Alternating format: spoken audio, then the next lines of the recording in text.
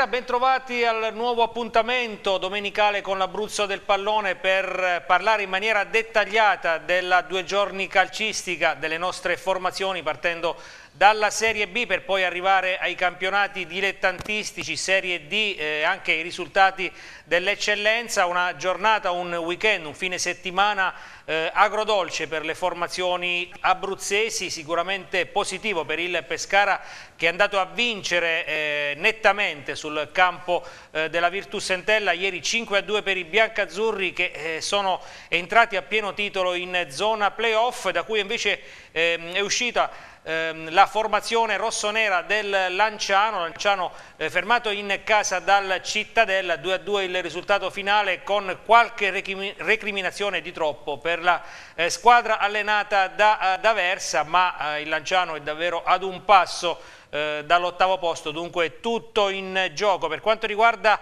la Lega Pro, eh, brutto scivolone dell'Aquila al Porta Elisa di Lucca, una sconfitta che ehm, potrebbe anche eh, lasciare qualche strascico in eh, casa rossoblù perché eh, la posizione del tecnico Nunzio Zavettieri non è più così salda come era fino a qualche settimana fa il pareggio nel derby col Teramo, poi questa eh, sconfitta, ehm, formazione aquilana che a questo punto è definitivamente fuori, a meno di un miracolo, dalla lotta per il primo posto. E dunque c'è sicuramente amarezza in società, si sta riflettendo sul da farsi, però è chiaro che la sconfitta di ieri un, ha rappresentato un colpo pesante per l'Aquila. E il Teramo, il Teramo che ha giocato questo pomeriggio alle 16 al Bonolis con la SPAL, eh, pareggiato per 1-1, un pareggio con tanto amaro in bocca per i biancorossi che sono stati raggiunti al 91esimo su calcio di rigore.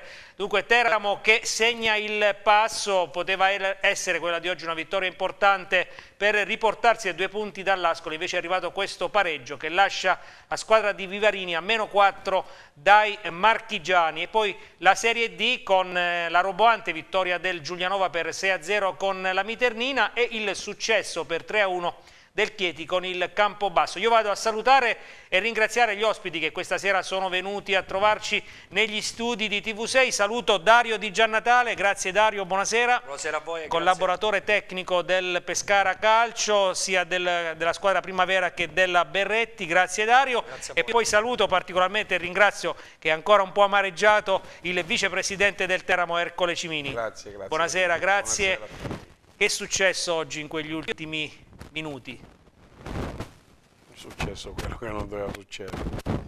È successo testa bassa e pedalare. Non è successo nulla, è successo che avevamo quasi assaporato una partita molto difficile, la vittoria, poi per una piccola un piccolo ingenuità siamo caduti, potevamo forse gestire un po' meglio quel pallone però ci sta nel calcio, ci sta, quindi un pareggio muove la classifica, il Teramo è sempre lì, che si gioca questo bellissimo campionato che sta facendo e poi alla fine sicuramente si terranno le somme.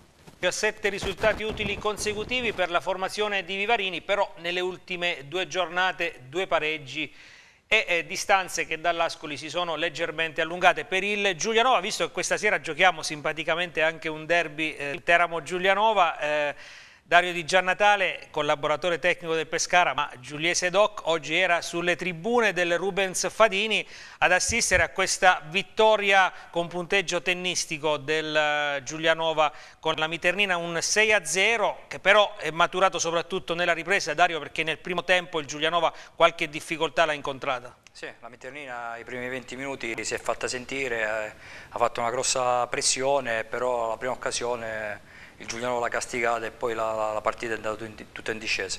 Una grandissima vittoria contro uno scontro diretto per non fare diciamo, i play-out. Poi vedremo ovviamente un ampio servizio su Giulianova Miternina come più tardi vedremo eh, naturalmente il servizio su questo pareggio del Bonolis fra Teramo e Spalla, gara che si è conclusa qualche minuto prima delle 6, dunque eh, diamo il tempo al nostro Alfredo Giovannozzi di montare il eh, servizio, ma andiamo con ordine, vediamo i risultati eh, della due giorni calcistica, proprio eh, di quello che è successo fra ieri ed oggi. Partiamo dalla Serie A, eh, diverse gare sono ancora da giocare, 25esima giornata, Atalanta, Sandoria 1-2, Cagliari, Ellas Verona 1-2, Cesena batte Udinese 1-0, Chievo Verona Milan 0-0, Genoa Parma come sapete è stata rinviata, Inter Fiorentina 0-0, questa gara è in corso di svolgimento, Palermo Empoli 0-0, eh, Roma Juventus e il posticipo di lusso di domani sera, poi a Reggio Emilia Lazio batte Sassuolo 3-0 e Torino Napoli è un'altra delle gare che eh, bisogna ancora disputare. Dunque classifica molto molto parziale quella che andiamo a vedere con la Juventus al comando con 57 punti, Roma 48, Napoli 45, Lazio 43, Fiorentina 40, Sandoria 39, Genoa e Inter 36, Milan Palermo 34, Torino 33, Sassuolo 29, Udinese Empoli, Ellas Verona 28, Chievo Verona 25, Atalanta 23, Cagliari 20, Cesena 19, chiude il Parma con 10 punti. E passiamo al campionato di Serie B, ieri una giornata pirotecnica nel ventottesimo turno, vediamo cosa è accaduto, Avellino, Ternana 1-1, Bologna, Vicenza 0-2, giocata venerdì, Catania, Frosinone 1-2, Crotone, batte Livorno 1-0, Latina, Trapani 1-0, anche questa gara è stata disputata venerdì a Modena, Bari batte Modena 1-0, Perugia, Spezia 2-1, Provercelli, Carpi 0-0, a Varese, Brescia Varese 2-1, Virtus Sentella, Pescara 2-5, Virtus Lanciano, Cittadella 2 a 2 e vediamo la classifica dopo queste gare, tra l'altro vi ricordo che si tornerà subito in campo martedì sera per il turno infrasettimanale valido per la ventinovesima giornata. E vediamo intanto la classifica, Carpi 53, Bologna 47, guardate il Vicenza dopo la vittoria del Dallara dove è arrivato al terzo posto con l'Avellino a 46 a meno 1 dalla zona Serie A, poi Frosinone 44, Livorno 43, Pescara, Spezia, Perugia 39, Virtus Lanciano 38, Bari e Ternana 36, Provercelli 34, Latina Trapani 33, Brescia 32 punti, Cittadella 31, Modena, Virtus Entella 30, chiudono la classifica Catania, Varese e Crotone e ricordo che il Catania così come il Modena deve, eh, le due squadre devono recuperare una partita che non si disputò tre settimane fa a causa della neve. Come detto, martedì prossimo si tornerà in campo, poi vedremo anche il prossimo turno. Siamo alla Lega Pro, il girone B, quello delle nostre formazioni, Teramo e L'Aquila. Vediamo cosa è accaduto. 27esima giornata, ancora Forlì 0-0, Gubbio Carrarese 1-2, Lucchese batte L'Aquila 3-1, Pisa Ascoli 0-1, Prato Propiacenza 0-1, Reggiana Sant'Arcangelo il posticipo, San Marino Pistoiese 0-0, Savona Pontedera 0-1, Teramo Spal 1-1, Tutto Cuoio Grosseto 1-0. Vediamo la classifica che vede l'Ascoli al comando con 53 punti, Teramo 49, Reggiana, Pisa 44, Pontedera, Ancona 39, L'Aquila 38, l'Aquila che deve recuperare due gare, poi Carrarese 36, Tuttocuoio, Lucchese e Pistoiese 34 punti, Grosseto Spal 33, Gubbio 32, Prato e Forlì 29, Savona 27, Sant'Arcangelo 26, Propiacenza 25, chiude il San Marino con 21 punti. Siamo al campionato di Serie D, scendiamo dunque ancora di un gradino, 24esima giornata. Fano batte Termoli 1-0 a Castelfidardo, Fermana Castelfidardo 1-0, Chieti Campobasso 3-1, Giulianova Amiternina 6-0, tra l'altro vi anticipo che... Eh, ha eh, rassegnato le dimissioni, lo, farà, eh, lo, sta facendo in questi momenti il tecnico eh, della formazione aquilana eh, Angelone, lo ha detto proprio al 91esimo anche ai nostri microfoni, poi ascolteremo l'intervista, vedremo se la società eh, accetterà o meno o respingerà le dimissioni del tecnico aquilano. Poi Maceratese San Nicolò 0-0 giocata ieri, Matelica Vispesaro 0-0, Olimpia Agnonese batte Civitanovese 2-0, Recanatese Celano 2-1, San Benedettese Jesina 4-0. Per questa classifica che vede ancora la Maceratese al comando con 56 punti, Fano 50 e poi San Benedettese 45, Campobasso 43, Matelica Civitanovese 40, Chieti 37, Jesina San Nicolò e Fermana 33, Giulianova 30, Recanatese 29, Amiternina 23, Castelfidardo e Agnonese 22, Termoli 17, Bispesaro 16, Celano 14 punti. E chiudiamo questa lunga carrellata di risultati con il campionato regionale di eccellenza che oggi ha visto la disputa delle gare della ventisettesima giornata. Città Sant'Angelo, Avezzano batte Renato Curia Angolana 3-1, Capistrello San Salvo 2-0, Cupello Alba Adriatica 5-2, Martinsicuro Sulmona 0-1, Montorio 88, Miglianico 1-0, Paterno batte, batte Acqua e Sapone 2-1, Torrese, Bastese 1-1, Bastomarina, Francavilla 0-2, vediamo la classifica come sempre molto equilibrata nelle zone alte dove l'Avezzano è al comando con 55, Paterno 53, Francavilla 52, ma ci sono delle gare ancora da giocare, poi San Salvo e Torrese 42, Angolana 41, Cupello 40, Pineto 37, Vastese 36, Miglianico 35, Montorio 33, Martinsicuro 31, Capistrello 28, Acqua e Sapone 24, Alba di Atrica 23, Basto Marina 13, Sulmona 11 punti. E con l'eccellenza noi chiudiamo la carrellata dei risultati, apriamo il nostro eh, dibattito, eh, tra poco vedremo subito il servizio su eh, Virtus Entella Pescara, Dario Di Gianatale questa vittoria del Pescara ieri a Chiavari un 5 a 2 ma potevano essere di più i gol per i biancazzurri Cosa è cambiato secondo te in queste ultime due gare? La vittoria con il Catania, tra l'altro in inferiorità numerica per oltre un tempo, ieri questo eh, largo successo in casa della formazione Ligure. Ma sicuramente eh, la spinta di Sansovini, io la partita domenica scorsa l'ho vista su Sky, eh, la vedo una squadra molto che crede più proprie, nei propri mezzi e quel gol di Sansovini all'ultimo minuto, minuto può essere la svolta del campionato. Poi eh, ieri la grossa vittoria 5-2 fuori casa, eh, martedì il Pescara tornerà in casa contro il Crotone e, e, sabato contro il Vicenza, secondo me potrà dire che cosa potrà fare il Pescara in futuro. Sono due gare, queste prossime con Crotone e Vicenza, ravvicinate che insomma potrebbero segnare in un certo senso il campionato del Pescara. Sì, secondo me sarà la svolta del campionato per, per fare i playoff oppure non centrare i playoff, però vedo una squadra convinta nei propri mezzi e sicuramente con questo innesto di Sansovini eh, il Pescara potrà, potrà dire la sua. Io chiedo al vicepresidente del Teramo Ercole Cimini se si aspettava un'esplosione, se così la vogliamo chiamare, di Sansovini, eh, tre partite, quattro gol, però nelle ultime due ha segnato quattro reti, ma soprattutto è stato l'autentico trascinatore di questa squadra. Sansovini, 35 anni, qualcuno poteva pensare che era quasi sul viale della pensione, invece così non è. Ma un giocatore quando è forte secondo me non va mai in pensione.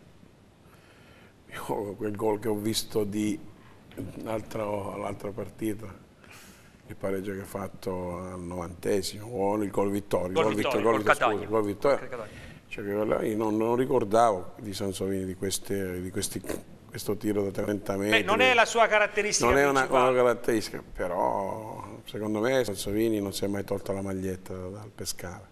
Lui è tornato a casa e sicuramente sarà, sarà la persona giusta, l'acquisto giusto nel momento giusto per il Pescara. Forse mancava un leader, un leader importante e con uh, ecco, questa, rivisto, co questa coppia qui stiamo rivedendo il gol proprio nella partita questa coppia Melchiorri e Sansovini secondo me adesso se ne vedranno di belle se hanno pazienza. Sansovini ha già fatto dimenticare Maniero ai tifosi del Pescara? Maniero è stato sempre un matrimonio molto strano si amavano, si odiavano, si amavano, si odiavano quindi non siamo mai riusciti a capire se eh, è stato sempre amore tra questa società e questo centravanti, contratto, non contratto. Penso, cioè, poi sono cose delle società, quindi mh, mm, se il Pescara voleva far rimanere Maniero lo faceva, faceva rimanere, hanno fatto delle scelte sicuramente si sono separati da come si succedono tante volte nelle famiglie, quindi non posso, Manieri non è stato anche perché il Pescara ha bei attaccanti davanti, quindi non è che Pescara che ha il Pasquale, Melchiore, c'è questo ragazzino molto bravo, quindi, eh, però è Sansovini che secondo me non dovevano neanche mettergli la maglietta perché secondo me lui è sempre stato il giocatore che non l'ha mai tolta.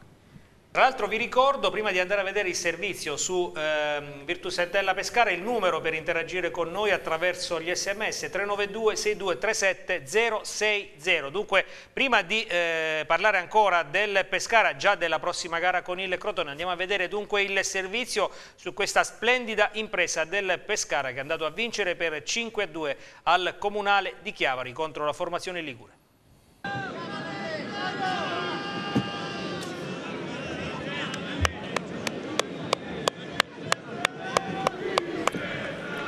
C'è un qualche problema, vedremo subito il servizio. Dicevamo, miglior attacco del campionato per il Pescara 47 gol, eppure Dario qualcuno eh, ha rimproverato a Baroni di essere un difensivista, però Pescara ha di gran lunga il miglior attacco del campionato. Ma sicuramente, forse quando le cose non vanno bene si attaccano a queste cose, però il Pescara sta parlando con i fatti, il miglior attacco non si può imputare niente all'allenatore.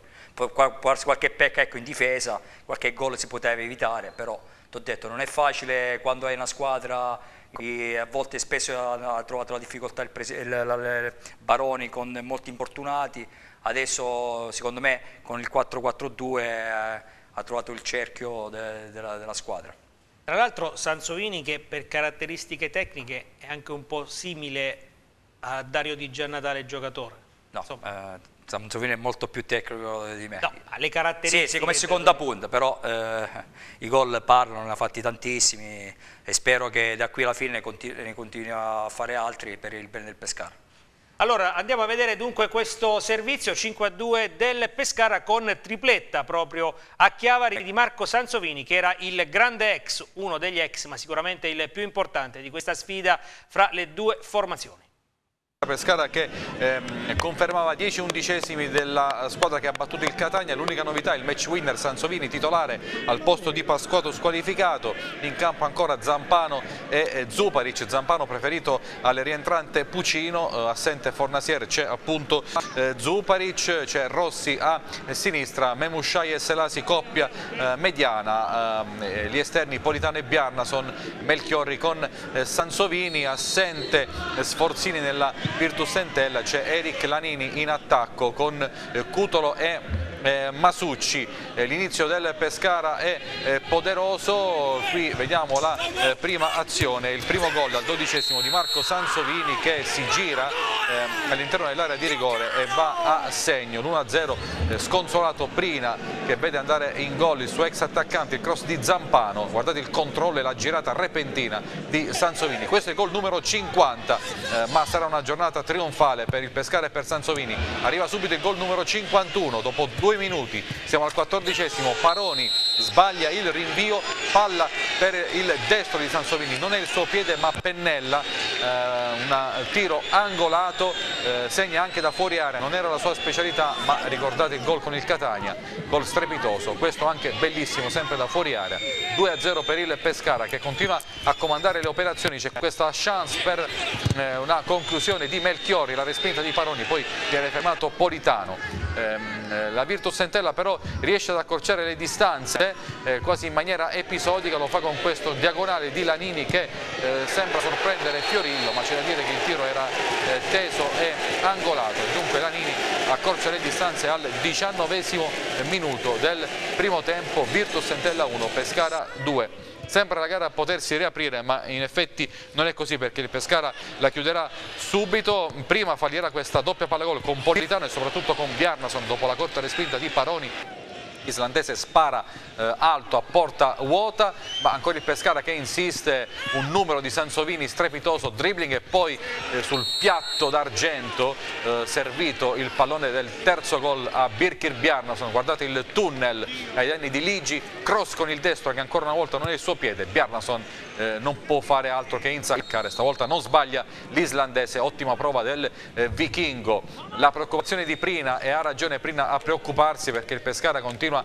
a imperversare, Politano dalla distanza, Paroni eh, respinge la bene e meglio, poi la difesa chiuderà su Melchiorri, Baroni che continua a suonare la carica per il eh, Pescara e guardate qui Politano che eh, fa eh, questo filtrante, manda in porta Sansovini che davanti a Paroni non sbaglia 3 a 1 dunque gol numero 52 in maglia bianca azzurra per il terzo eh, bomber ogni epoca del eh, Pescara. Pescara. Dunque sul 4 a 1, Sansovini sarà sostituito da Brugman, resta Melchiori come unica punta e Melchiori va a prendere questo fallo da ultimo uomo, quindi con chiara occasione da gol di Russo, resta in 10 la Virtus Entella che viene bucata ancora una volta da questo gol capolavoro di Federico Melchiori. Con il tacco, secondo assist di giornata per un positivissimo Francesco Zampano, tacco di Melchiori come i grandi bomber, come Bettega, come Crespo e tanti altri, gol del eh, 5 a 1, poi il definitivo 2 a 5 da azione d'angolo, svetta Masucci, maglie larghe, Masucci non è certo il più alto in campo ma va a segno, gol però ininfluente, trionfale trasferta per il Pescara. Abbiamo visto dunque il servizio su questa vittoria, splendida vittoria del eh, Pescara. Eh, Ercole Cimini ha visto il gol di tacco di Melchiorri? Visto sì, l'ho visto. Tra l'altro, eh, ancora una volta tra i migliori eh, c'è questo Selasi che qualche mese fa stava per passare al Teramo. C'era stato un eh, insomma sì. quando non giocava ovviamente eh, c'era stata, molto, era stata avviata una trattativa stato, per il passaggio era molto vicino al Teramo. Poi l'infortunio del di Borgman ci ha fatto esplodere sto ragazzo e oggi è un capitale importante per pescare a calcio ricordiamo che questo è un ragazzino 96 e gioca con una personalità eh, incredibile eh, per giocare a questi livelli per un 96 per giocare a questi livelli qualcosa devi avere però no. Baroni ha avuto il coraggio di gettarlo nella mischia, è vero che è stato quasi costretto eh, nella partita di Bari, se non ricordo male, Bari. dalle tante assenze che c'erano a centrocampo, però eh, lo ha buttato nella mischia e non l'ha più tolto. Il calcio italiano ha bisogno di questo. Giovani in campo. Il calcio italiano bisogna avere, coraggio. Io penso che giovane, un ragazzo a 18 anni non è più neanche un ragazzino, 18 anni, 19 anni quindi un ragazzino vero e proprio non è un ragazzino vero e proprio. Cioè, se noi andiamo a vedere la nazionale belga che ha fatto i mondiali, ha giocato un ragazzino del 96, quindi cioè, in Serie B secondo me è proprio il momento di giocare almeno un, un terzo, un terzo un, oppure metà devono essere ragazzi che devono avere sotto 20 anni per creare, per creare opportunità a questi ragazzi mettersi in mostra. Allora, abbiamo visto le immagini su eh, questa vittoria del Pescara a Chiavari e al 91esimo c'era un eh, Marco Baroni ovviamente soddisfatto, Marco Baroni che non dobbiamo dimenticarlo era stato messo in discussione dopo la sconfitta di eh, Latina, messo in discussione dall'ambiente, ma probabilmente anche forse eh, in società, o comunque eh, non, la società non aveva gradito la prova della squadra a Latina perché Pescara aveva giocato male, poi è arrivata la vittoria con il Catania, quella di ieri, Pescara in zona playoff. Ascoltiamo Baroni. Ah, Marco, un giocatore di spessore, adesso vogliamo recuperare anche Federico, ma vogliamo so anche che Pettinari ci potrà dare una mano, insomma eh, dobbiamo, dobbiamo, lavorare, crescere a testa bassa, parlare poco e lavorare tanto. Mister, 30 gol segnati in trasferta, 17 in casa, è un dato questo che fa pensare cosa? Fa pensare che noi possiamo ancora, ancora fare qualcosa in più, possiamo sicuramente eh, capire che questo è un campionato difficilissimo, non ci sono partite facili, la linea tra la vittoria e la sconfitta è sottile, spesso ci sono dei dettagli, però quando c'è un atteggiamento teste accese, gente che vuole qualcosa, sicuramente riesci a spostare la possibilità di vincere una gara dalla tua parte. È la prima volta in zona playoff, un punto di partenza? No, no, no, io guarda, in questo momento voglio solo essere concentrato sulla crescita ancora della squadra, poi ci sarà, il, ci sarà, il, tempo per crearsi un obiettivo importante perché lo possiamo fare però ancora è prematuro, dobbiamo continuare a lavorare, adesso abbiamo, martedì si ritorna in campo, c'è da recuperare energie, sono due partite fondamentali, le abbiamo in casa, eh, sono convinto che ci sarà il sostegno anche del, del nostro pubblico, eh, credo che dopo la partita in casa la vittoria anche sofferta ma ottenuta in quella maniera è stata un po' questa scintilla no, che io chiedevo. E adesso dobbiamo, dobbiamo ripresentarci in casa con, con con una grande partita perché sarà una partita difficile contro il Cortone. Le interessa sapere che per la prima volta siete davanti al Lanciano? No, no, no, no, guardate qui non ci dobbiamo, noi, noi non dobbiamo fare la corsa su nessuno, noi dobbiamo solo lavorare, la corsa la dobbiamo fare su noi stessi perché chi è ambizioso si crea dei, degli obiettivi importanti, però passano tutto attraverso l'umiltà e il lavoro.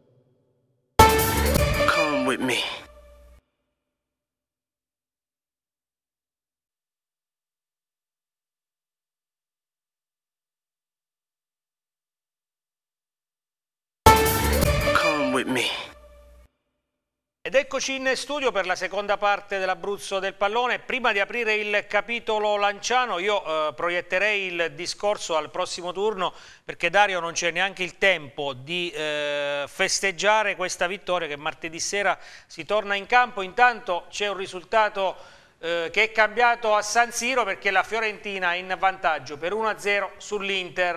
Un risultato abbastanza clamoroso perché l'Inter delle ultime settimane stava facendo bene, dicevo, martedì c'è questa gara col Crotone, una gara da non sbagliare, da non fallire e se qualcuno dovesse pensare che è una partita facile probabilmente...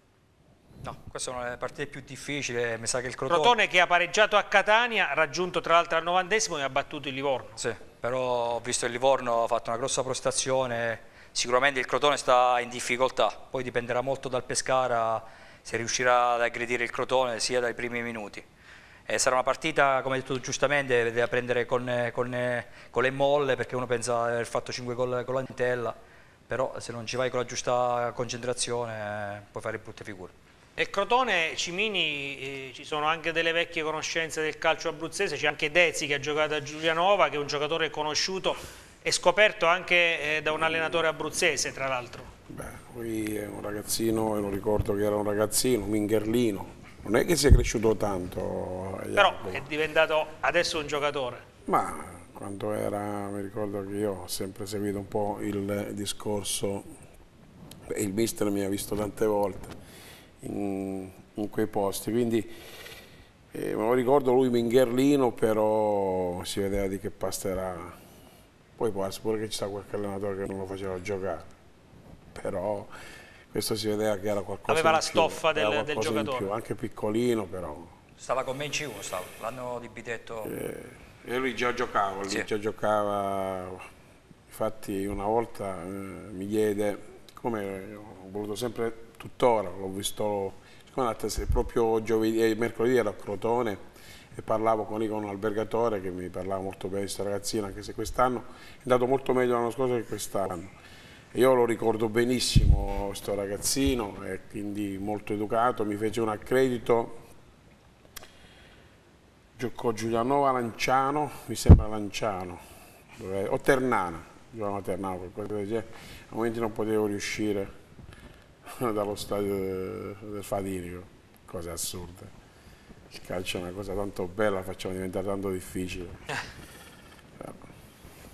Anche perché posso dire di aver parlato sempre bene di società che hanno sempre fatto calcio. Non... Poi Giulianova a livello di giovani ha avuto sempre una grossa tradizione. Io quel periodo avevo anche, Jacopo ha giocato insieme a, a, mio figlio, quindi lo conosco molto molto bene perché ha fatto tutta un'altra fila insieme, hanno fatto, poi le strade sono divise, però mi ricordo tanti ragazzini del Giulianova.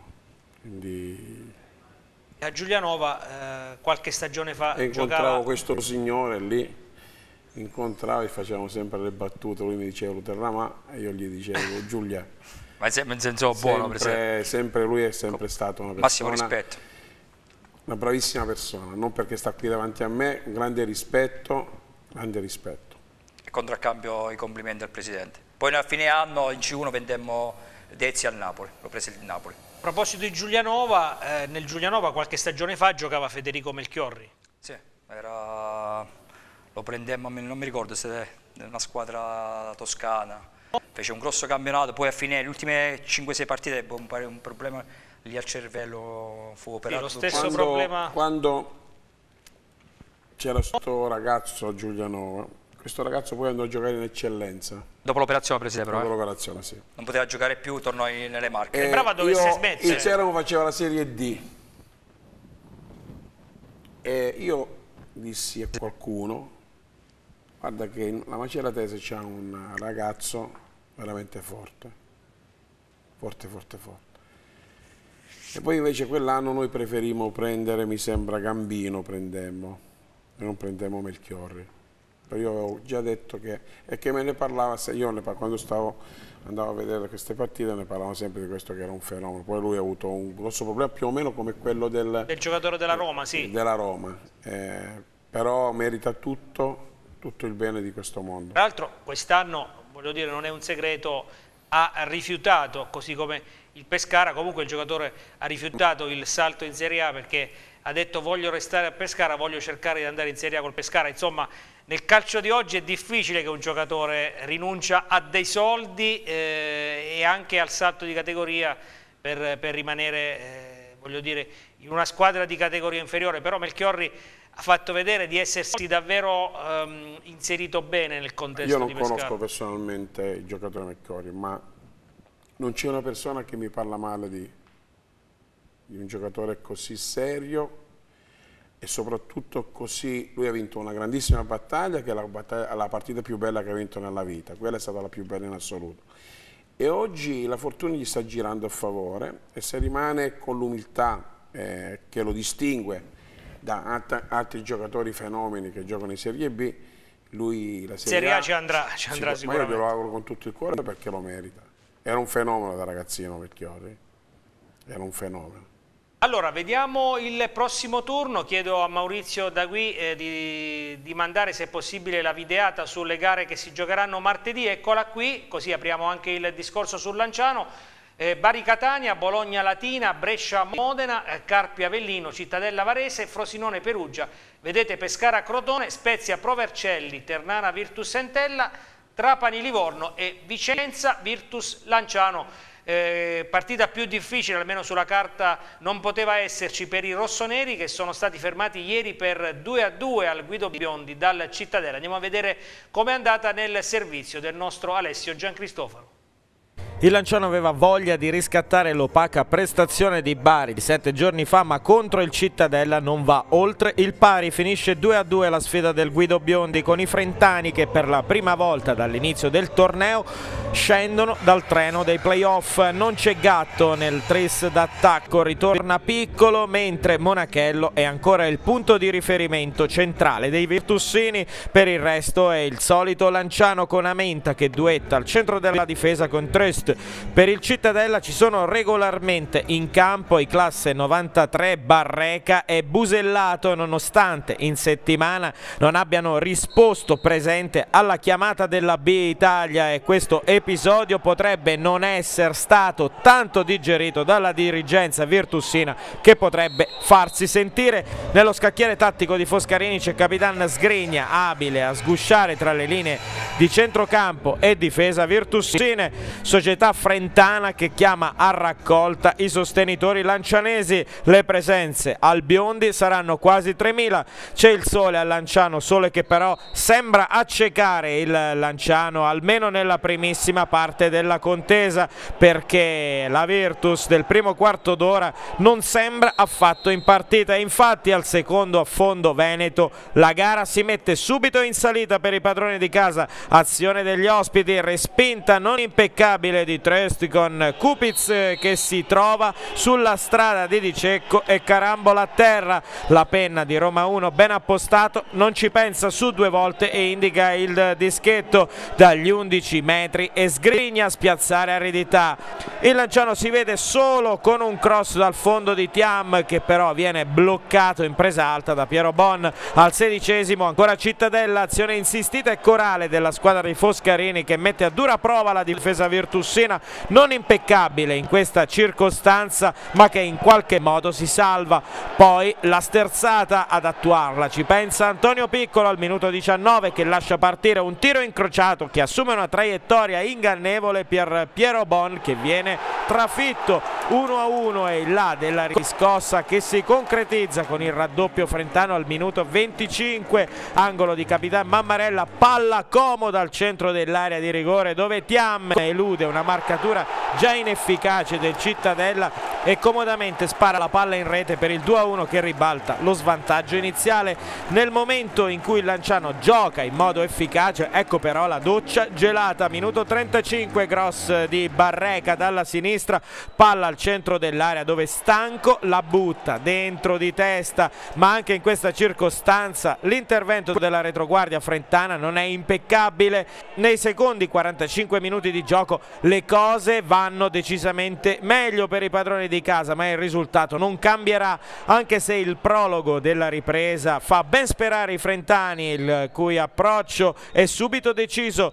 Cross di Mammarella, palla che arriva a piccolo e la sua conclusione che centra lo specchio della porta ma Piero Bon respinge la conclusione Ancora Lanciano al minuto 9, innesco dalla sinistra per Piccolo che conclude a volo ma è superlativa la risposta di Piero Bon che evita la terza capitolazione. All'undicesimo calcio di punizione di Mammarella ma la conclusione del numero 3 si spegne di poco sulla sinistra della porta difesa dal Piero Bon Virtus alla ricerca dei tre punti suggerimento per Tiam questa volta dalla corsia di destra ma l'impatto del senegalese con la sfera non è perfetto. Arriva anche il turno di Cerri ma l'azione più pericolosa la crea Aquilanti al minuto 29 con un tiro dal limite dell'area di rigore la cui conclusione si spegne sulla trasversale. Poi Lanciano insiste ma di pericoli veri e propri per Piero Bon non ci saranno 2 a 2 dopo 5 minuti di recupero e all'orizzonte due sfide lontano dal Guido Biondi Vicenza e Perugia. 180 minuti impegnativi con la Virtus che per tutta la settimana starà lontana dall'Abruzzo. Questo è il servizio di Alessio Giancristoforo su questo pareggio del Lanciano. Eh, Cimini, questo Lanciano che continua a raccogliere meno eh, di quanto, di molto quanto sfortunato. merita. Molto molto sfortunato, per quello che produce secondo me raccoglie molto poco. Ho visto alcune altre partite dei servizi, qualcosa di nell'inverosimile. Però questo cosa significa? Quando per troppe gare si raccoglie meno di quanto si semina, eh, questo cosa vuol dire? Speriamo che cresca tutto in fretta.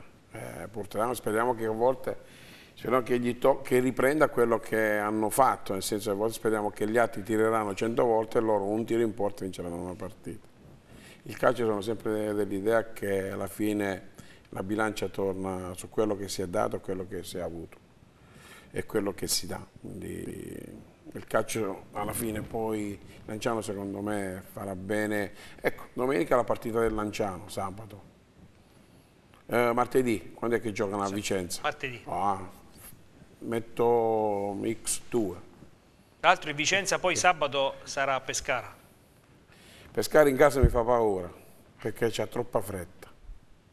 Secondo me è l'unica cosa che posso dire perché io sono un grosso tifoso del Pescara. Pescara deve avere pazienza in casa, pazienza. Non deve fare un boccone col giro di 20 minuti, 30 minuti. Deve avere pazienza. Se il Pescara riesce ad avere pazienza perché diventa consapevole della grande forza della squadra, faremo, farà grandi cose. Sono convinto che non è detto che non possa avvicinarsi a quei 46 punti, 47 punti. Dario, tra l'altro, eh, tornando a Lanciano, eh, ora c'è questa trasferta di Vicenza, eh, la squadra in casa lo scorso anno, eh, diciamo, eh, creava problemi a tutte le formazioni avversarie. Quest'anno probabilmente sta venendo, almeno dando uno sguardo ai numeri del campionato, sta venendo un po' meno il fattore Guido Biondi. Eh, può capitare le annate che la squadra eh, fa due tre in porta e vince la partita, le, le altre annate come quest'anno fa 5-6 palle gol e alla fine va a pareggiare.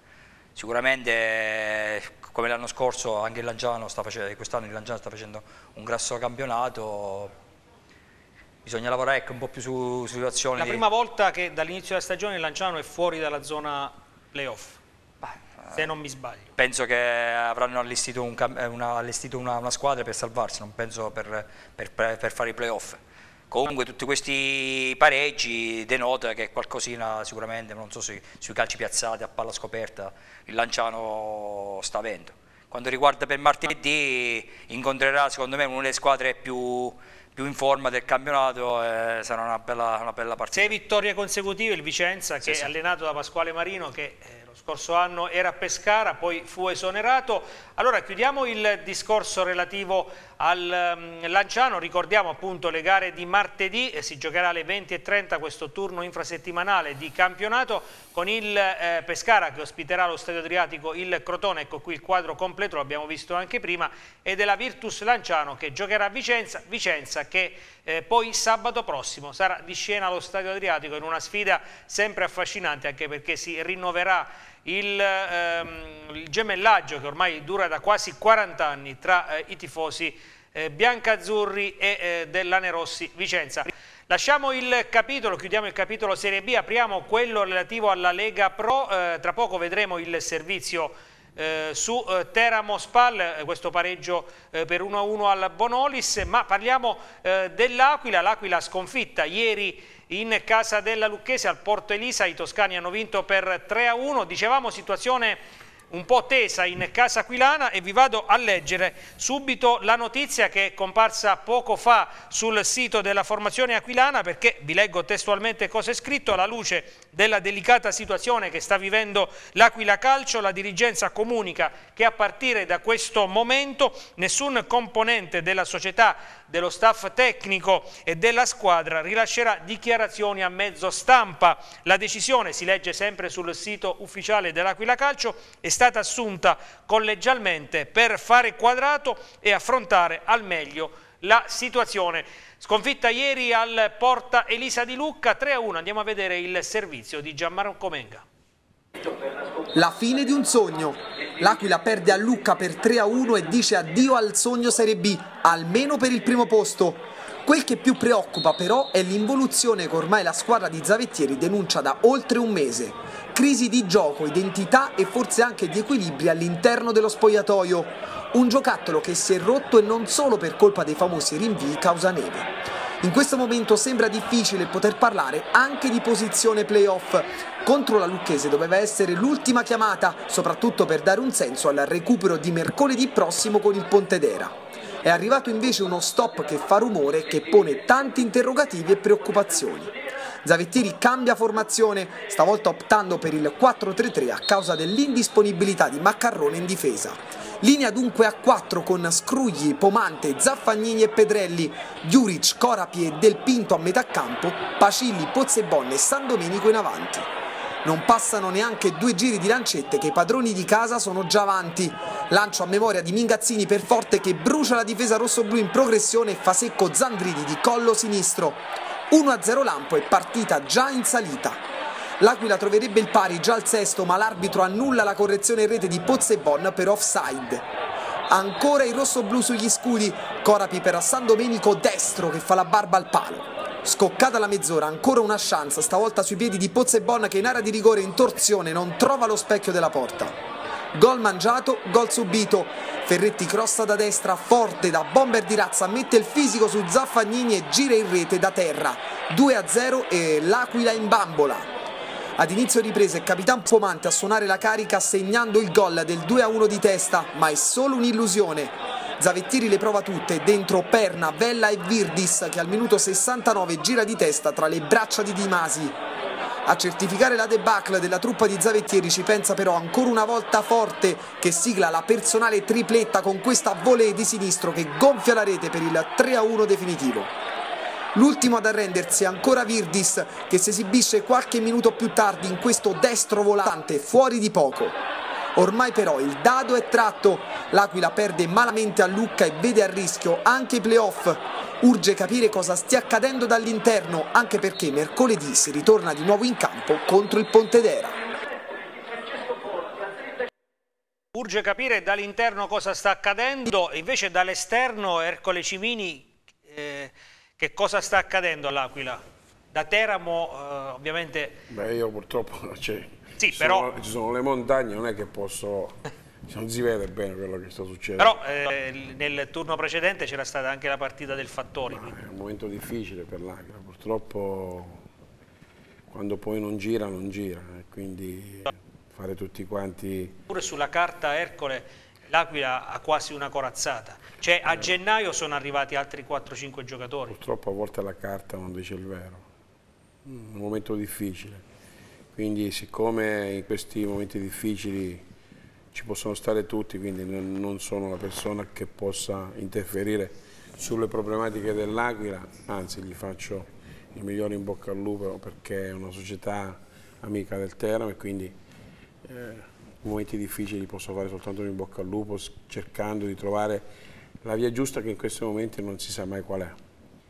La posizione di Zavettieri, secondo Cimini, sempre dall'esterno, è a rischio il tecnico oppure eh, tutto verrà deciso anche da questi due recuperi che ci saranno Ma- a breve? Vedi, nel- nel calcio purtroppo chi paga alla fine è sempre eh, l'allenatore, però questo allenatore ricordiamo dove ha preso l'Aquila e dove l'ha portata e non penso che possa essere diventato brocco adesso, quindi Però la società, bisogna capire, la società eh, ieri eh, capire. ascoltavamo le interviste al 91esimo, stiamo eh, valutando la posizione del tecnico, quindi il tecnico è comunque in discussione, altrimenti la società non, la non valu- non valuterebbe... In una società, in una società di calcio mm, non, non si sa mai chi è il colpevole. Purtroppo chi viene messo sempre sulla braccia è sempre il povero allenatore. Ripeto, quando eh, l'Aquila venne a Teramo, eh, Vettieri venne, prese un- un'Aquila che aveva 5 punti. E da quella partita è ripartito e ha fatto bene. Eh, poi bisogna dire se, se ci sono state delle problematiche, bisogna fare gruppo e ricominciare a lavorare. Non penso che oggi, di, ai primi di marzo, cambiare allenatore, entrare, entrare nel meccanismo possa fare. Se fosse una scelta interna, posso essere anche d'accordo, ma un allenatore però che si ambienta le ultime 11 partite, però, però che capisca finito il campionato. Dario, eh, A volte qual- anche i giocatori possono, anche giusto che anche- qualche giocatore si assuma le sue si assume delle sue responsabilità. responsabilità. Se eh, l'Aquila, eh, sentivamo, ascoltavamo il servizio di Gianmarco Menga, non dovesse addirittura centrare i playoff quest'anno, stagione sarebbe fallimentare però. Sicuramente, però manca ancora 11 partite. Per l'Aquila 13 ne mancano. Eh, c'è anche due partite da recuperare. Anche è stata sfortunata per quel periodo che ha nevicato all'Aquila, quindi...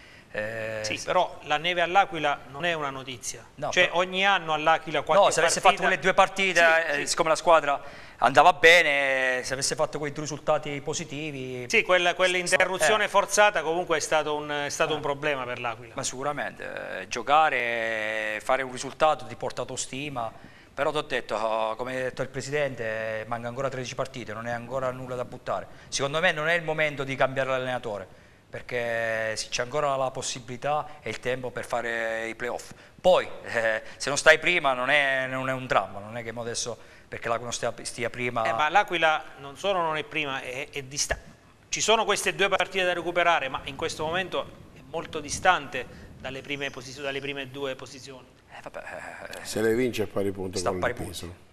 Non bisogna alzare il polverone adesso, aspettiamo queste due partite per l'Aquila e poi si prenderà una decisione. Certo, se una, una sconfitta interna Eh, col Pontedera. col Pontedera. Però adesso l'Aquila deve giocare sapendo che ha- ha so- ha solo un risultato a disposizione. L'Aquila deve giocare come sa giocare. Sa giocare. In questo momento non sta giocando come sa giocare.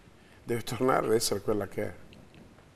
poi come hai detto giustamente eh, ci sono i giocatori che si devono prendere anche responsabilità perché tutte le colpe, non, so, non tutte le colpe... C'è l'Aquila, guardiamo Perna, Pozibon, Virdis. Ragazzi, ma che cosa deve fare una società? Eh, ma infatti non è in discussione la società, è in discussione il tecnico. Può darsi che La sono società eh, ha messo a Eh, disposizione dell'allenatore Eh, un organico, è una- perciò dicevo un che è quasi giocare- una corazzata la- l'Aquila. Corazzato, no, non proprio corazzato.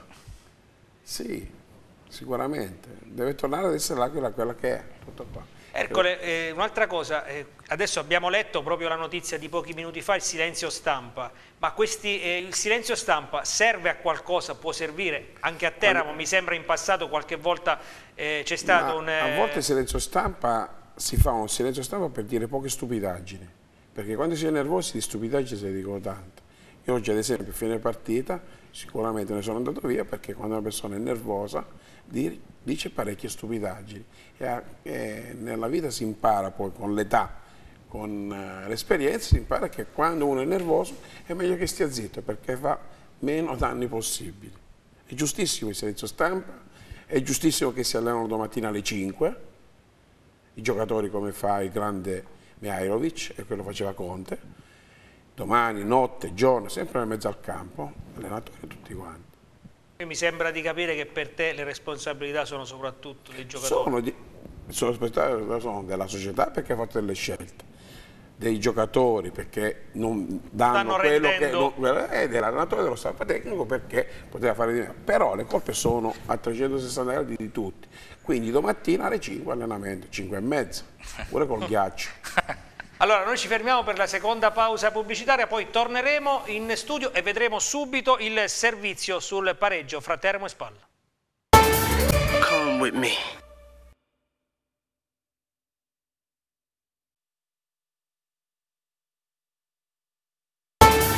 Come with me. Ed eccoci in studio, siamo pronti per vedere questo servizio realizzato a tempo di record su Teramo Spalla 1-1, è un servizio che eh, forse farà eh, un po' eh, andare eh, la prossima cena, la cena di questa sera un po' di traverso al vicepresidente eh, Cimini. Allora vediamo il servizio che ha realizzato per noi al Bonolis Alfredo Giovannozzi. Altro che sorpasso, nella giornata che i tifosi del Teramo immaginavano come trionfale l'Ascoli guadagna due punti sui biancorossi e scava il solco di più di una partita in classifica con i biancorossi che adesso sono a quattro lunghezze dai bianconeri.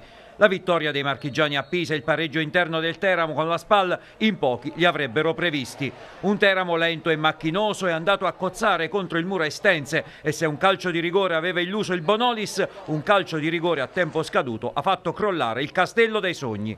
SPAL coperte a corta e Teramo che per tutto il primo tempo non riesce a trovare gli spazi. Donnarumma è il più intraprendente dei biancorossi e tiene Menegatti sul chi va là. Un minuto dopo, e il ventitreesimo, Rovini prova a testare il grado di attenzione di Tonti che para in due tempi. Altri dieci minuti e Di Quinzio impegna ancora Tonti dalla distanza. Ci vorrebbe uno scossone per sbloccare la partita e prova a darlo Di Matteo al 42esimo mettendo Di Paolo Antonio nelle condizioni di battere a rete ma la conclusione acrobatica è fuori misura. Nel finale di tempo la Padula prova a destreggiarsi da solo nelle maglie della difesa estense ma senza fortuna. La ripresa vede in avvio il primo cartellino giallo della gara che tocca a Rovini. Poco dopo uscita la Superman di Tonti che deve sbrogliare una situazione ingarbugliata in area. Al 24esimo la spalla la prima palla gol vera della partita. Tonti pasticcia un'uscita, la palla finisce sui piedi di Zigoni che calcia verso la porta sguarnita. La chiusura di Perrotta è decisiva. Il Teramo capisce che non può più scherzare, ma ha anche bisogno di un episodio che trova subito dopo. È il ventisettesimo quando Di Quinzio atterra in area Amadio che lo aveva saltato in dribbling. Calcio di rigore che Donnarumma con freddezza calcia e trasforma. L'incubo della fuga scolana sembra svanire, ma il destino riserva la più amara delle sorprese al Teramo. È il 46esimo quando Vivarini getta nella mischia l'esordiente Milicevic al posto di Donnarumma. Per il croato del Pescara si tratta del ritorno in campo dopo tanto tempo, ma la prima cosa che fa è disastrosa. Atterra in area Finotto che altro non cercava che un contatto. Calcio di rigore per la SPAL che Fioretti trasforma. Il gelo cala sul Bonolis, il Teramo tenta una reazione disperata con la Padula che manda la palla a sfiorare il palo, ma non c'è più tempo. Finisce in parità con tanti rimpianti da parte biancorossa e con l'Ascoli che mette su la prima fuga del campionato. Cimini, allora eh, partiamo dalla fine, da questo rigore per la spalla, questo fallo ingenuo commesso da Milicevic. Qualcuno ha contestato eh, questa sostituzione, contestato nel senso che eh, probabilmente riteneva non fosse la, la sostituzione giusta questa di Milicevic, un giocatore che è reduce da un lungo infortunio, è entrato nei minuti finali e al primo pallone è andato a commettere fallo in area su, su un avversario. Io rispondo a chi dice questo, a chi mi dice che cosa deve fare l'allenatore. Se ha sbagliato ammette mi dice che viene contestato. Volevo sapere qual è la seconda domanda, cioè nel senso cosa deve fare l'allenatore. L'allenatore legge una partita in un modo, sicuramente ha letto la partita avendo lasciato in campo Petrella e Donnarumma eh, ha cercato di ritornare a un centrocampo a tre e quindi di cercare di coprirsi. Lì purtroppo c'è stata un'ingenuità che ci è costata cara, però ci sta. Ci può stare calcio. come noi avevamo avuto un calcio di, di rigore prima, eh, un episodio, qui un episodio purtroppo ci ha condannato, una partita che forse poteva essere nostra però sono due punti persi questi, inutile girare tanto. Come si era messa la partita, sì, però fino al rigore è stata una partita molto difficile. La Spara è venuta a terra senza giocare, è venuta all'isola a difendersi. Purtroppo noi siamo bravi in, a volte nelle ripartenze e questi ci hanno bloccato un po' tutto quello che è la nostra forza sugli esterni e quindi una squadra molto bottonata che si difendeva molto bene e poi aveva, aveva sia l'11 che la punta che non mi ricordo l'11 come si chiamava che quando ripartivano facevano anche del male. Quindi pareggio per come si era messa la partita onestamente ci va un po' stretto si poteva gestire un po' meglio il risultato. Eh, l'Ascoli non è la prima volta che sta a 4 punti da, dal Teramo l'Ascoli deve fare il suo campionato noi faremo il nostro campionato campionato non è assolutamente finito oggi, il campionato... Anche perché ricordiamolo per l'ennesima volta, nell'ultima giornata ci sarà Teramo Ascoli. Ma io speriamo che l'ultima giornata si arriva a fare qualcosa di importante, però posso dire che il Teramo finora ha fatto tante cose, sono pochissime le cose negative che ha fatto quest'anno il Teramo. Il Teramo sta facendo qualcosa di importante ma veramente di qualcosa di importante. È normale che poi quando l'appetito che mangiando onestamente oggi eh, ci troviamo con la mano in bocca per una partita che secondo me si poteva anche portare a termine con una vittoria. Però ci può stare, ci può stare. in questo momento devo dire che non ci sta dicendo veramente molto bene, perché noi anche domenica all'Aquila in altre occasioni la Padura l'avrebbe messo dentro la A proposito, hai un po' anticipato la mia domanda, in queste due eh, ultime partite che è successo alla Padura e Donnarumma? Beh, non è successo nulla assolutamente, Donnarumma e la Padura sono eh, domenica purtroppo per, per 2-3 centimetri non ha fatto gol, è una partita molto importante all'Agra, poi un derby è sempre un derby contro un'ottima squadra che è l'Aquila Calcio Oggi, Però qualcuno, sì. scusami se ti interrompo ancora una volta, qualcuno ha imputato al Teramo eh, il fatto di non aver forse osato fino alla fine contro una squadra che, lo ha detto anche la gara di ieri a Lucca, è un po' in difficoltà. Vuol dire che chi dice questo ho miei dubbi che possa parlare di calcio. Perché se una squadra deve andare all'Aquila con la presunzione di andare a vincere una partita, non è che il Teramo non ci ha provato, se voi guardate gli ultimi 10 minuti cosa c'era in campo del Teramo, guardate un po' le sostituzioni, oppure può che sono andato a vedere un altro tipo di partita, ho giocato con Petrella, con Bucchi, Donnarumma e la Padura, quindi qualcosina ha cercato di osare. Eh, io per me un pareggio all'Aquila dove altre squadre importanti avevano lasciato le penne, è stato importante. Stessa, la stessa cosa mi, avete, mi, avevano fatto questa domanda quando abbiamo pareggiato questa partita ad Ancona. Io penso che eh, nella vita c'è bisogno di essere tranquilli e di essere calmi, perché il Teramo onestamente non, non riuscirà mai a vincere tutte le partite di questo campionato.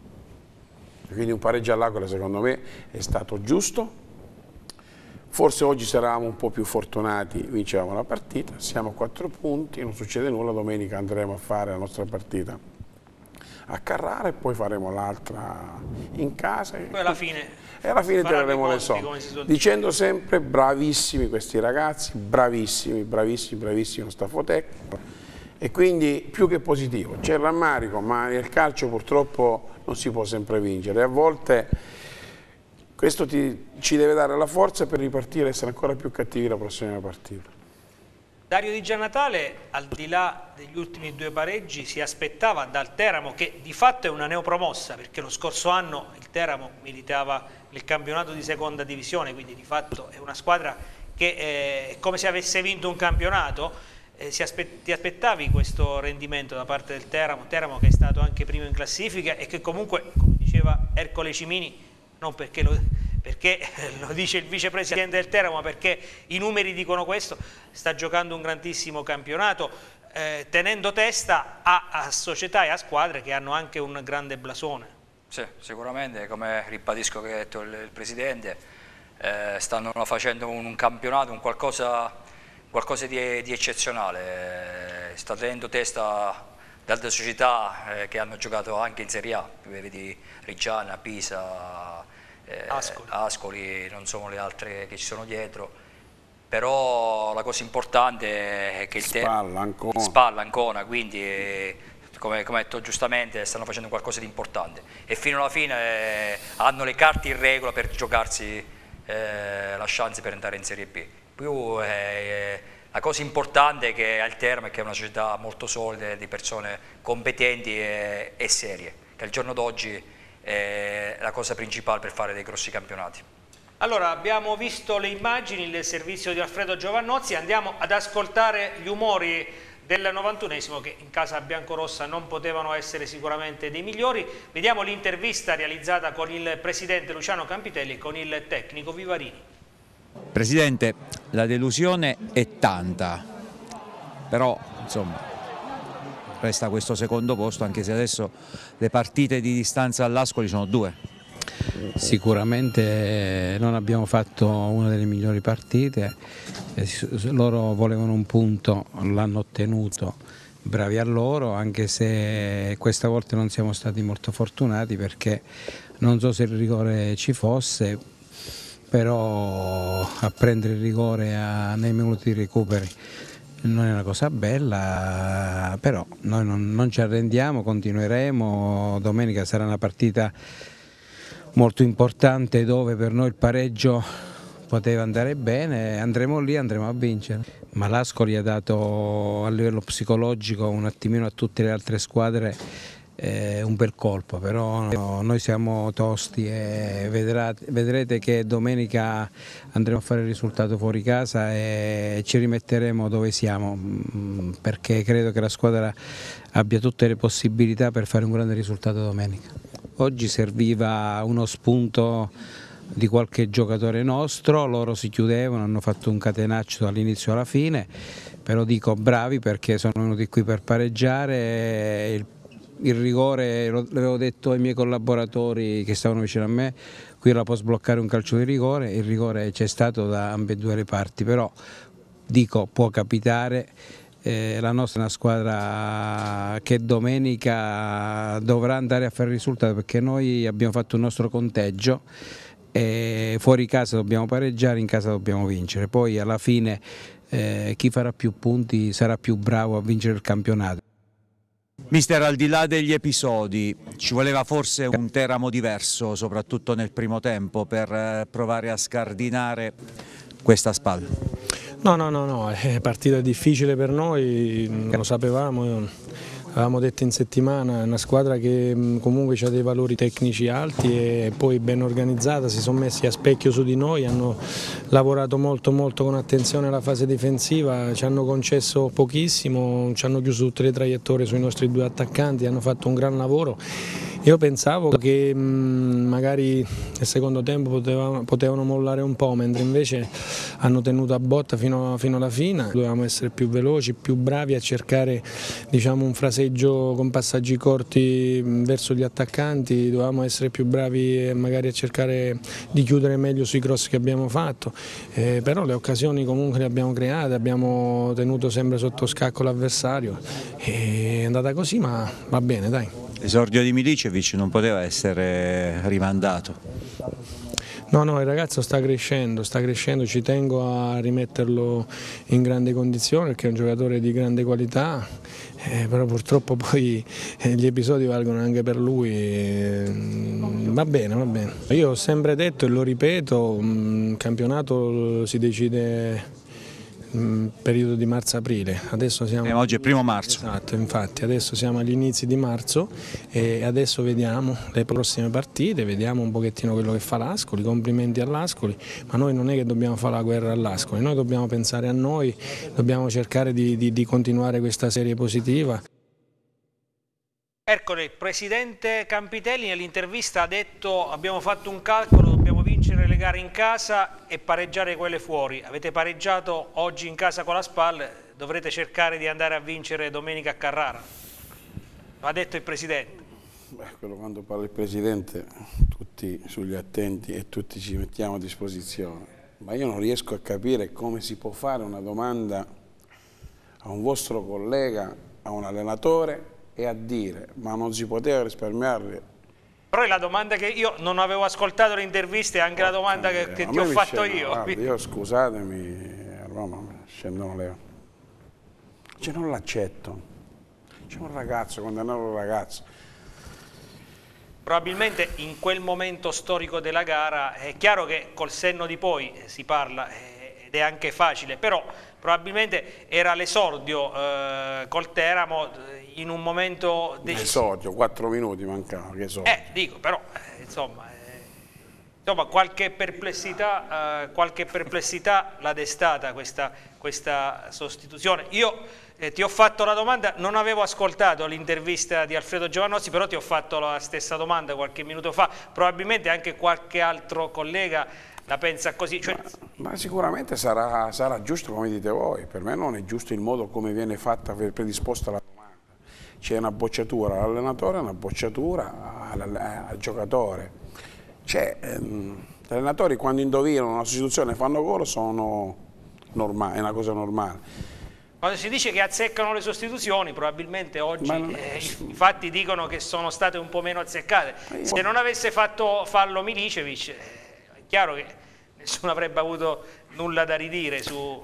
Ma lì prima di Milicevic questo giocatore, non mi ricordo su che è stato fatto il rigore, se andiamo a vedere l'azione lì la palla lui ce l'ha avuta circa 30-40 secondi tra l'area di rigore e nessuno è riuscito a togliere sì, la palla. È stato bravo, è stato È arrivato Milic sì. in corsa, il recupero e è abboccato, come ha abboccato il giocatore del, della Spallo su Amaddio, quindi cioè, cosa, cosa poteva fare lì Amaddio? Bastava soltanto accompagnarlo con quello che doveva fare il nostro ma non doveva essere il nostro lì perché io se noi andiamo a vedere bene l'azione Milicevic gli è andato incontro ma chi stava frontalmente al giocatore che si portava la palla all'interno perché non l'accompagnava?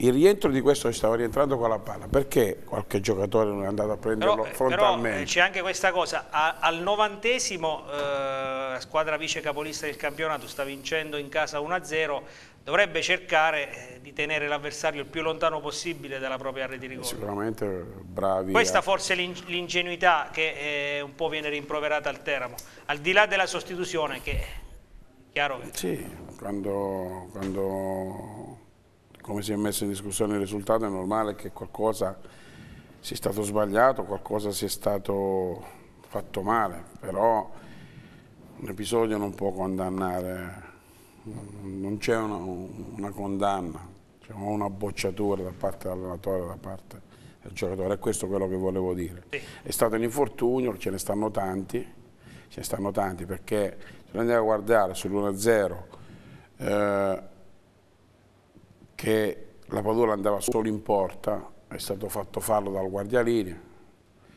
C'è stato un incontro fortuito con la Guardia Nero che andava solo in Si è anche porta. infortunato. L'ultimo tiro che ha fatto Donnarumma, che la Padula, che è andato Il lì a un centimetro. Dispiace perché stavamo vincendo 1-0, però e non ci ha dato neanche tempo di reagire. Sicuramente se siamo, oggi dobbiamo far capire i giocatori, la società deve capire di che pasta siamo fatti. Se noi reagiamo subito, già da domenica, vuol dire che ce lo giocheremo fino alla fine. Se poi non reagiamo vuol dire che stiamo dove stiamo. cioè.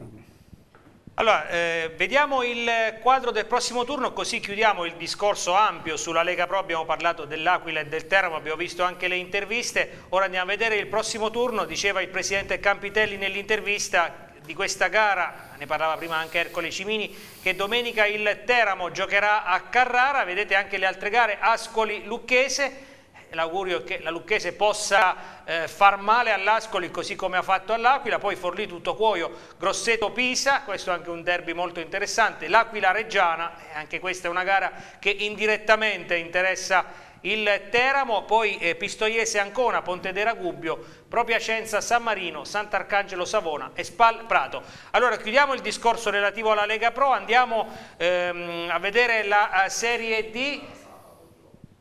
A Carrara, pardon, mi dice Andrea Costantini, si gioca sabato e non domenica. E, dicevo, allora apriamo il discorso relativo alla Serie D. Eh, oggi c'è stato questo derby eh, giocato al Rubens eh, Fadini con una vittoria eh, schiacciante del Giulianova sulla Miterrina 6-0 con le dimissioni del tecnico eh, della formazione eh, aquilana proprio al 91esimo ha rassegnato le dimissioni questa sera incontro societario vedremo se le dimissioni di Angeloni saranno accolte oppure respinte dalla società Giulianova a Miternina 6-0 vediamo il servizio Oggi non, non mi sono piaciuti i ragazzi soprattutto perché non, non hanno rispecchiato il carattere della Miternina, il carattere de- dell'allenatore, quindi probabilmente a questo punto forse sono io che non riesco a trasmettere la forza di volontà necessaria per venire fuori da queste situazioni e questa sera parlerò con la società, vediamo se è il caso che, eh, che mi faccio da parte assumendomi tutte quante le responsabilità. Mister Angelone nelle prossime ore rassegnerà le dimissioni. Scotta troppo la figuraccia patita dalla sua squadra al Rubens Fadini. La società potrebbe anche decidere di respingerle, ma resta l'amarezza del tecnico nei confronti dei suoi ragazzi. Davanti al futuro patron Enrico Massi, invece il Giulianova fa un figurone impartendo una severa lezione agli aquilani che dovranno iniziare a questo punto a guardarsi le spalle. Per la squadra di Francesco Giorgini sono invece tre punti che servono per mettere una seria ipoteca sulla salvezza. La prima azione di Marca Giuliese con un tiro di poco al lato di Gaetani al quarto, ma la squadra aquilana non sta a guardare al diciottesimo con un tiro di Caprioli che crea qualche problema falso che ribatte la sfera che termina poi sui piedi di Schiphol che da posizione angolata alza sopra la traversa. Le due squadre danno l'impressione soprattutto di badare a non prenderle anche se al 24esimo e al 28esimo Esposito prende per due volte la mira dalla distanza, mancando in entrambe le circostanze di poco il bersaglio. Sugli spalti i tifosi della curva ovest danno il benvenuto al prossimo patron, mentre in campo al 32esimo è Carrato a trovare il miracolo di falso su una violenta conclusione ravvicinata. Pungolata da qualche fischio dei tifosi, la squadra di Giorgini ha un nuovo lampo al 37esimo con Gaetani che in area in equilibrio precario alza troppo la mira.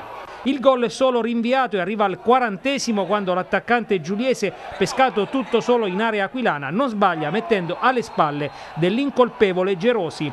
Ma le sorprese non sono finite perché al 43esimo Gaetani questa volta serve con una perfetta torre un bel pallone a Nassi che chiede di essere solo spinto in rete per il 2-0. L'avvio di ripresa è però sulla falsa riga della conclusione della prima parte di gara con il tris firmato da Esposito al decimo.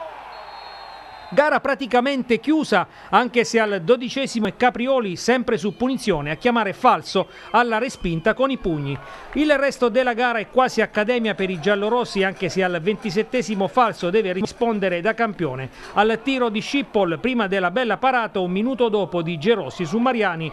Ma è la giornata di Maurizio Nassi che realizza al trentunesimo il poker, prima del quinto gol segnato al quarantesimo minuto dal neoentrato De Matteis e della sesta rete griffata dall'ottimo Mariani.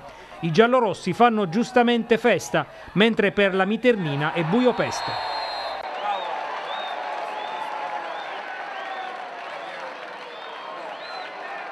Noi ci tenevamo a fare una grande partita, certo non, pensavamo così all'inizio, perché loro comunque sono arrivati qua, si sono chiusi bene, ci lasciavano pochi spazi, poi dopo il primo gol comunque abbiamo donato più, più spazi e negli spazi noi siamo pericolosi. Ci tenevamo a fare bene per tutti e soprattutto per, per queste persone che credono, credo ormai sia sicuro siano entrate in società. Da martedì penseremo alla Civitanova. Sono questi comunque tre punti per ipotecare la salvezza?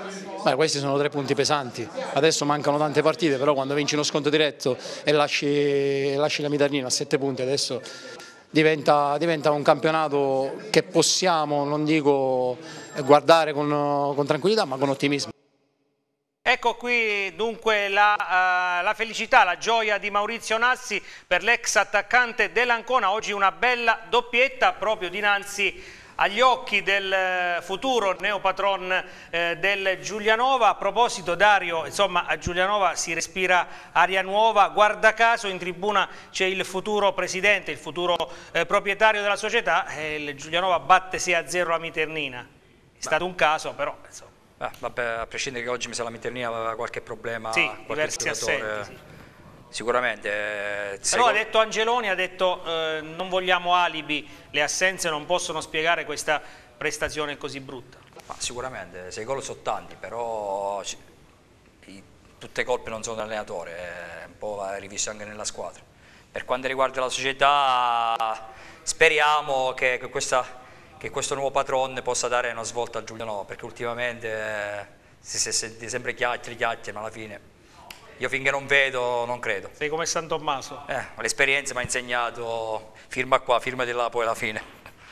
Ercole Cimini conosce eh, i nuovi dirigenti che stanno per entrare nel Giulianova, si attende solo il nero su bianco, il gruppo Ettorre, la famiglia Beh, conosco, Massi. Conosco il gruppo Ettorre, li conosco nell'ambito del lavoro, nell'ambito calcistico, non penso che fatto, abbiano fatto mai calcio, oppure non lo so, io auguro a loro le migliori fortune, quindi entrare nel mondo del calcio è importante che gli piacciono il calcio. Però oggi per qualsiasi dirigente di qualsiasi società, anche in qualsiasi categoria, entrare in una società eh, significa anche sobbarcarsi degli impegni finanziari ed economici non indifferenti. Cioè nel calcio... Po posso dire semplicemente una cosa io, io devo dire perché è una cosa che ci tengo a dire. Noi, non noi, a volte posso dire anche mio cugino, si può dire che lui è stato il, il realizzare un sogno è stato soprattutto di mio cugino, gli do un merito al 90%.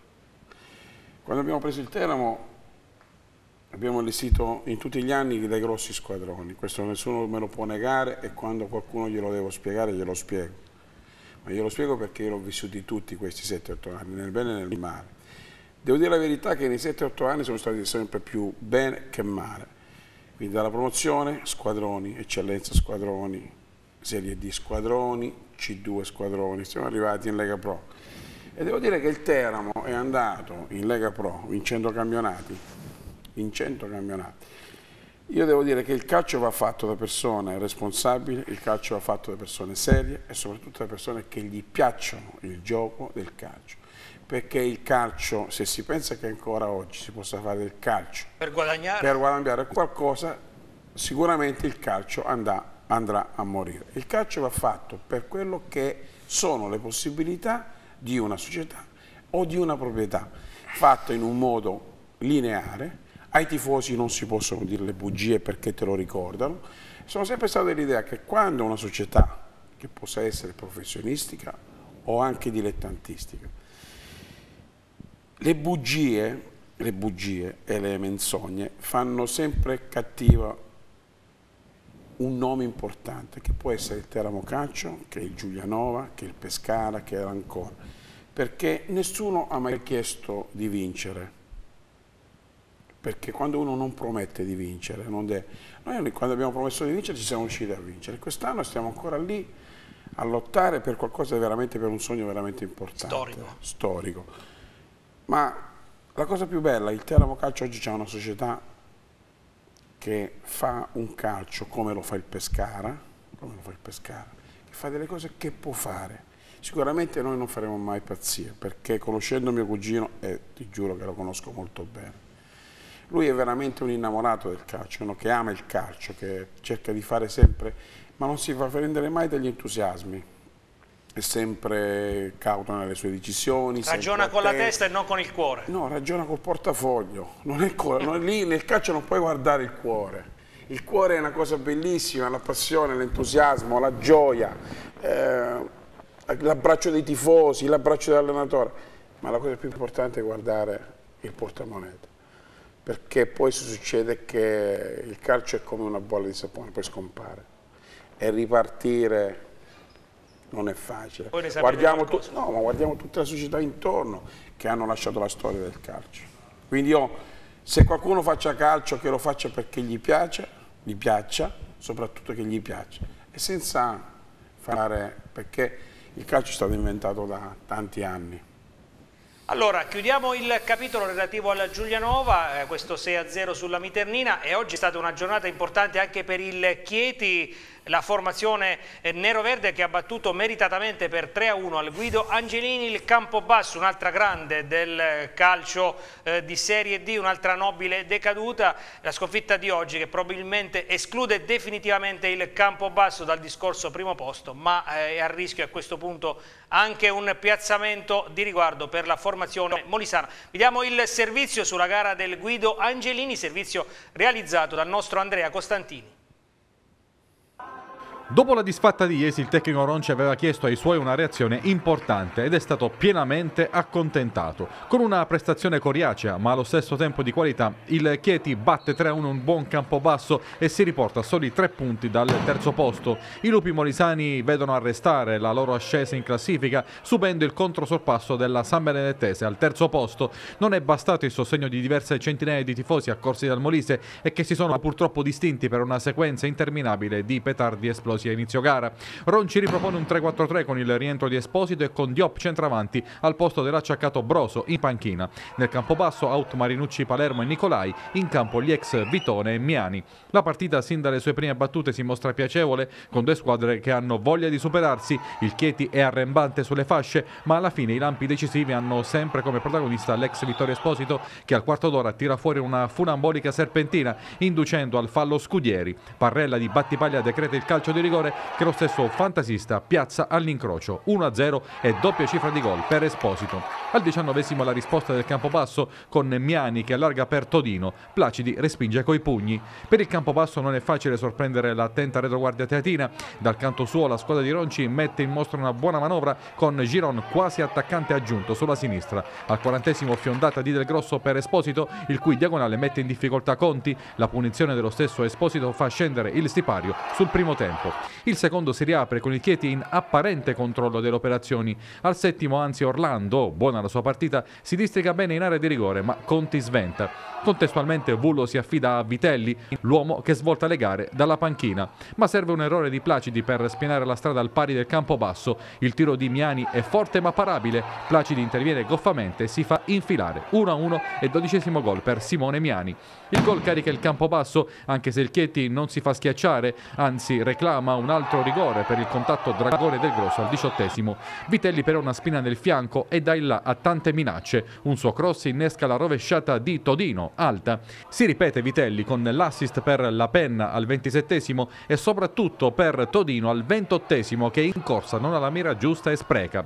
Nel frattempo del Chieti dentro Broso che al ventinovesimo riceve da Prinari e chiama Conti alla gran parata. Le squadre sono lunghe e le occasioni fioccano sui due fronti. L'equilibrio si spezza definitivamente al 35esimo. Bella azione del Chieti, cross di Orlando, velo di Esposito e destro preciso di Broso che fa esplodere la tribuna dell'Angelini. E il colpo partita, il quarto sigillo del centravanti che uscirà subito dopo per un problema muscolare e il suo sostituto Laxir firmerà al 42esimo il gol del definitivo 3-1.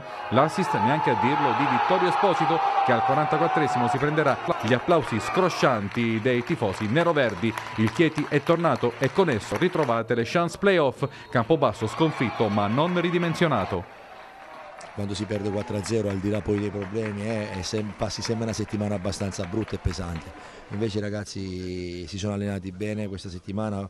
Li ho visti molto concentrati e determinati da martedì perché è una sconfitta che non ci voleva e oggi la cosa che ho chiesto a loro principalmente era una grande prestazione, poi il risultato tante volte non è figlio della prestazione, anche nella partita d'andata dove abbiamo fatto una grande prestazione non abbiamo vinto, quindi però oggi era fondamentale tornare a fare una grande prestazione, soprattutto dare un segnale che noi non siamo quelli di Esi e che siamo una squadra ancora viva e che vogliamo far bene fino alla fine. Ma non, ci può essere, non possiamo accontentarci della buona prestazione. Noi oggi abbiamo... Per la cronaca, diciamo sì, così. ma se, cioè, senza dubbio. Noi, io ho visto una gara volitiva, una gara vogliosa, è chiaro che loro sono erano molto più presenti nei rimpalli, nelle palle mezza e mezza arrivavano sempre prima di noi, però è vero è pure che dopo il gol subito ci siamo riorganizzati, all'inizio del secondo tempo mi sembra che la squadra abbia, abbia messo lì, eh, con l'entrata di Vitelli oltretutto abbiamo creato 3-4 occasioni che non possono essere sprecate tutte. Bene, queste le interviste del 91esimo della gara Chieti-Campobasso. Eh, eh, prima della sigla vedremo anche il servizio della gara giocata ieri a Macerata all'Elvia Recina con il pareggio tra la capolista ed il San Nicolò. Una battuta sul Chieti, eh, Cimini, Chieti eh, vittoria importante col Campobasso, continua questa contestazione dei tifosi che non vanno allo stadio, però insomma una bella, una bella soddisfazione oggi per i neroverdi. No un ottimo risultato. Peccato che il Chieti durante l'anno è stato un po' incostante, però secondo me sta facendo un campionato un po' anonimo, però l'importante è che stia lì, poi si, sì, in altro anno devono già organizzarsi per ripartire bene perché il Chieti merita altri, altri palcoscenici. Dario, questo Campobasso in Serie D, un'altra grande come la San Benedettese, eh, come Giulianova e, e tante altre squadre, insomma la Serie D è un campionato durissimo, eh, vincere eh, non è mai facile, anche perché il posto per la promozione diretta è uno solo. Paolo, torniamo lì, il discorso è sempre, ci vuole programmazione, è una cosa principale nel calcio, come diceva il Presidente giustamente, ci vuole serietà, prendere persone giuste essere precisi a fine mese, perché se c'è programmazione e serietà nel calcio eh, le cose vanno, vanno bene, però se poi si vive la giornata per tante problematiche, alla lunga non si va. Allora, siamo in chiusura, io faccio un'ultima domanda al Presidente Cimini. Allora, cosa vogliamo dire ai tifosi del Teramo in vista di questo lungo rush finale del, del campionato? Insomma, ci proverete fino alla fine. Sicuramente. Eh, al di là di tutto, sarà importante io, arrivare all'ultima giornata con un distacco minimo dal Posso dire semplicemente che dopo un risultato oggi così, un amaro così brutto alla fine della partita, ma vedere, oggi ho rivisto una gran bella curva e quindi faccio i complimenti a tutti i ragazzi della curva che hanno incitato la squadra fino alla fine. Ho visto una bellissima tribuna, ottima tribuna, eh, per ultimo anche i distinti, però posso dire una cosa bella, che questi giocatori a testa bassa che uscirono dal campo perché è stato duro, duro il colpo, ma che sono stati applauditi per circa un quarto d'ora, è stata la più bella vittoria eh, del Teramo Calcio e della Teramo Città, quindi un applauso vanno, oggi i migliori in campo sono stati i tifosi. E quindi voglio fare un applauso alla tifoseria e soprattutto voglio dire che non devono abbandonare assolutamente, loro non abbandoneranno perché chi ama il Teramo lo ama anche nei momenti difficili, quindi sicuramente saremo anche numerosi a Carrara con la speranza di poter fare risultato a Carrara. Dario, per te questa avventura iniziata già da qualche tempo di allenatore, sei Te nel... l'ho battuto ieri però. Eh. Eh sì, ieri la Berretti e il Termo ha battuto... Sabato, sabato mattina un dispiacere, La. Berretti del Pescara. Ci ha vinto 1-0 Ah, ci pagati. Porca. Come mai questa sconfitta? Eh, può capitare. A voi, squadra amica. Squadra amica. Ci si aiuta. Noi eravamo in grosse difficoltà e loro ci hanno aiutato. Può capitare, a volte anche le, le grandi fanno gli scivoloni. Tu sei tornato, eh, sei giuliese, però hai anche il cuore biancazzurro, lo possiamo dire. Beh, sicuramente. Eh, sei, sei a Pescara, sei nel Pescara, sei nel settore tecnico e settore giovanile per te questo però è un punto di partenza, comunque tu da grande vorrai fare l'allenatore, vuoi fare l'allenatore? Sì, ci provo. Hai già, hai già iniziato da qualche tempo? Sì, sono sei, quasi sette anni che faccio il, il secondo, diciamo. Eh, per me questo è il sesto anno che sto a pescare, per me è un amore indescrivibile stare qui a pescare. uno non si ferma mai, cerca sempre di, di migliorarsi nella vita e speriamo un giorno di arrivare sempre in alto. Il sogno è quello di allenare il Giulianova però. Eh, Giulianova, io spero, io sono stato a Giulianova, sono stato quattro anni, ho avuto belle esperienze e purtroppo ho avuto anche, eh, non si è iscritto il presidente, un anno sono rimasto anche senza lavoro, quindi non si sa mai dire mai, però eh, ecco, come tutti, ogni, ogni allenatore cerco di puntare sempre al massimo, di arrivare Un passo alla volta, un ovviamente. passo per volta. Il sogno è sempre di arrivare in in una squadra di Serie A, di Serie B. Bene, mai grazie. porsi dei limiti. Eh certo, no, certo, anche perché sei giovane, anche perché c'hai, c'hai i miei stessi anni, siamo Io del penso 69. che lui, la squadra che vorrebbe allenare più di tutti, io da come lo conosco, Eh. non ha né i colori bianco-azzurri né neanche giallo-rosso. Eh. Il sogno suo è quello di allenare una squadra che ha i colori rosso-blu. Rosso-blu. Possiamo sapere qual è? No, no, il presidente sta parlando. No, è vero o non è vero? No, no, io, squadra io che- presidente non ho fatto squadra dove- Allora, Ercole, qual è la squadra è la che squadra sogni? dove Bologna. No, no, no, lui è, è un... lui non, difficile, non lo può tanto dire, meglio che non lo diciamo. Ah, forse, forse ho capito. Meglio che non lo Allora, diciamo. ah, che non lo diciamo. Stiamo ovviamente Perché scherzando. no, ma sempre per la piazza, non è questione. Beh, speriamo Io- che- Ci sono delle piazze molto Cioè, è una formazione marchigiana per caso? No, penso emiliana. Beh, il discorso. Bene, siamo in conclusione, eh, chiudiamo anche con lo scherzo, anche perché è giusto così. Io ringrazio il vicepresidente del Teramo Ercole Grazie, Cimini che è grazie. venuto nonostante questa amarezza, questo finale amaro nella gara con la Spalla, tra l'altro è venuto con una partita terminata qualche eh, minuto prima dell'inizio, un'ora prima della nostra trasmissione, quindi lo ringrazio doppiamente. Io ringrazio voi, sempre gentilissimi, è sempre un piacere venire negli studi, che sono anche dei ricordi belli negli anni, quindi vi faccio a voi un grande in bocca al lupo, sempre, sempre gentili e soprattutto siete persone molto pacate e giuste nelle domande, non mettete mai le persone in difficoltà, quindi è un piacere venire ospiti da voi. Grazie ad Ercole Cimini, grazie anche dei complimenti, grazie a Dario Di Giannatale per essere venuto nei nostri studi, appuntamento con Grazie voi a voi. domenica prossima, grazie Dario, appuntamento Grazie. domenica prossima con un nuovo numero dell'Abruzzo del Pallone, buona serata. Uh huh. Yeah.